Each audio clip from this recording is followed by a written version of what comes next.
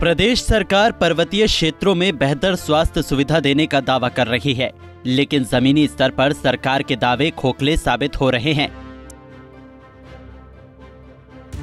सरकार ने पर्वतीय जिलों में अस्पताल तो खोल दिए हैं, लेकिन इन अस्पतालों में डॉक्टरों की भारी कमी है, जिसके चलते ये अस्पताल मरीजों के लिए रेफर सेंटर बन चुके हैं। दरअसल हम बात कर रहे हैं अल्मोड़ा ज़िले में स्थित मेडिकल कॉलेज की। जब ज़िले में मेडिकल कॉलेज खुला तो लोगों में एक आस जगी थी। कि अब इलाज के लिए बाहर नहीं जाना पड़ेगा। लेकिन कौन जानता था कि फिर भी इलाज के लिए शहरी अस्पतालों का रुख करना पड़ेगा। मेडिकल कॉलेज खुलने पर सरकार ने भी अपनी खूब पीठ थपथपाई। लेकिन आज अस्पताल स्टाफ और डॉक्टरों की कमी से जूझ रहा है। अल्मोड़ा मेडिकल कॉलेज में डॉक्टरों और विशेषज्ञ डॉक्टरों की कमी के कारण जहाँ मेडिकल कॉलेज से एमबीबीएस के छात्रों को नुकसान हो रहा है, वहीं उपचार के लिए आ रहे मरीजों को भी परेशानी का सामना करना पड़ रहा है। मेडिकल कॉलेज के प्राचार्य की माने तो उनके अनुसार फैकल्टी के चिकित्सकों में कमी है और शीघ्र ही ये पद सृजित होंगे।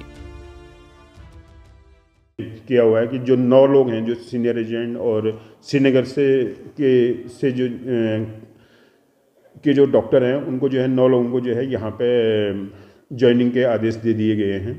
तो एक तो नौ डॉक्टर जो हैं, ये वहाँ से हमें मिल जाएँगे। एक हफ़्ते के अंदर जो है उन लोगों ने ज्वाइन करना है यहाँ पे। दूसरा अभी जो है, पूरे स्टेट में जो है, असिस्टेंट प्रोफेसर के जो है, रेगुलर भर्ती हुई है। और जल्दी ही जो है वो लोग भी जो है ज्वाइन करेंगे। तो धीरे धीरे जो है, जो फैकल्टी की थोड़ा बहुत जो कमी है, वो वो कंप्लीट हो जाएगी। तो अगर वो लोग सभी ज्वाइन कर लेते हैं तो एक यहाँ कुमाऊँ की जनता के लिए एक के हित में होगा। और फिर जो चीज़ें हम नहीं कर पा रहे हैं अभी, वो सारी चीज़ें जो है सुचारू रूप से अस्पताल चलना स्टार्ट हो जाएगा। पहाड़ी क्षेत्रों में खुले सभी सरकारी अस्पतालों का यही हाल है। हर सरकारी अस्पताल डॉक्टरों की कमी से जूझ रहा है। शहरी क्षेत्रों में स्थित ज़्यादातर सरकारी अस्पतालों की हालत भी कुछ ऐसी है।